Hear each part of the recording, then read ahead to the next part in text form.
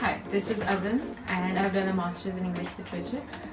And what I liked about Sue's book is Develop Your English is that not only it teaches you English, of course, that's the primary goal, but at the same time, it's bring people from different different nationalities. Me myself, like I come from a different country where English is not first language, but we're talking about a common goal that is the world and how the environmental aspect. That's one of the things that I really like. Your English is a book that designed not based on the conventional ways where we view on the normal English book where it is more focusing on the grammar stop in the beginning but it is designed based on the topic base and the topic base is using is based on the SDG which is very relatable to our daily life and throughout the book, there is a lot of phrases and a lot of uh, words that being included in the book, which very relatable to us,